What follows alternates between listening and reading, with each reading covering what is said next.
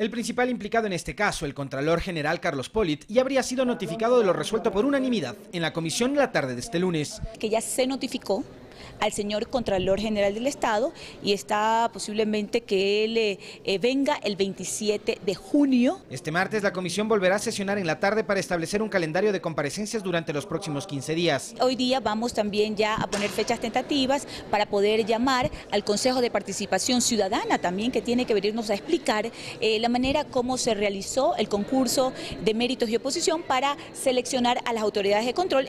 Daniel Mendoza, legislador manavita y proponente del intento de juicio político al Contralor, tendrá que en estas dos semanas sustentar y presentar los argumentos que lo motivaron a iniciar con este trámite. Hay suficientes indicios de responsabilidad. Recuerden ustedes que hay una denuncia presentada por la fiscal Tania Moreno en donde se le acusa del presunto eh, delito de concusión. Eso eh, evidentemente, eh, según el artículo 411 del Código Integral Penal, habla de elementos de convicción suficientes. Desde otros sectores políticos esperan que la presencia del fiscal general el próximo viernes aporte con elementos dentro del proceso de investigación al Contralor Polit. La Fiscalía debió de tomar medidas antes inclusive de que en este caso el eh, Contralor General de la Nación salga del país. Alexis Moncayo, Ecuador TV.